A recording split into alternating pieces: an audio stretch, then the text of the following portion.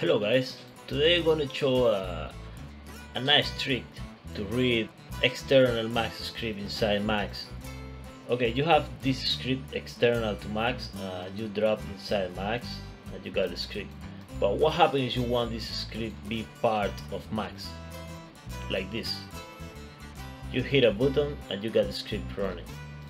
I will give this in the description of the video. You just copy right like this one and just edit the, the address. C script and the name of the script. You just need to edit this part right here. You just need to select the, the full code and just drag here in any bar as you want. Just for example drop here and you got the button right here working.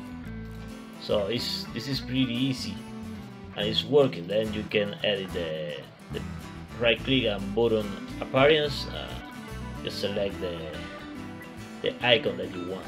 For example this one. And then you have the button